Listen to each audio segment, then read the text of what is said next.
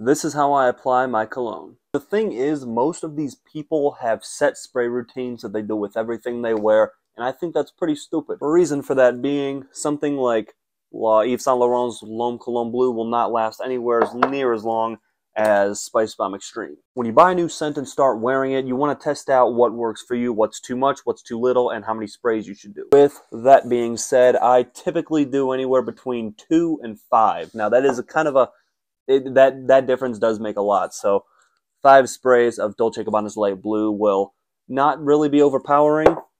Five sprays of Dior Sauvage will make people hate you. I mean, they already hate you because you're wearing Sauvage, but still. So here's how I apply Jazz Club since you just heard me voice my opinion. So I do back of the neck, one side, one side, and then if I really, if I'm feeling a little antsy, I'll do one to the wrist, maybe dab it. Don't rub.